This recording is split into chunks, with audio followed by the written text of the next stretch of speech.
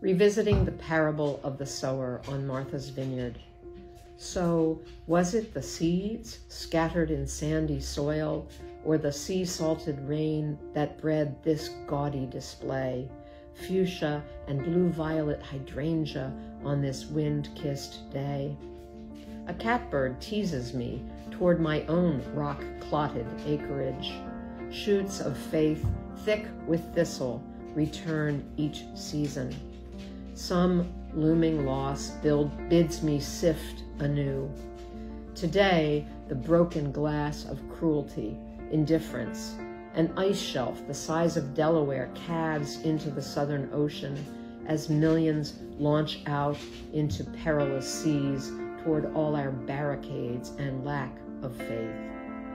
Still, each day the sower's hand offers some momentary grace.